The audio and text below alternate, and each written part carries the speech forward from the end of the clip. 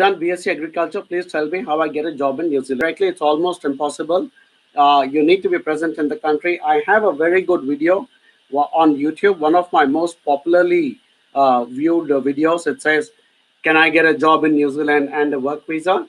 It is one of the most popular videos from my entire channel. Uh, have a look at that. I've explained why it's almost impossible for somebody who is not present in New Zealand to try and find a job here in New Zealand. We need people in the agriculture sector because we are still a very strong agriculture orientated country. So it will be good to attract talent like you. But when you're not in New Zealand and trying to find a job here, almost impossible. So watch that video. We will also connect with you and we will come back and uh, uh, we would like to come back and uh, uh suggest you the different pathways. Most likely, it has to be through study pathway.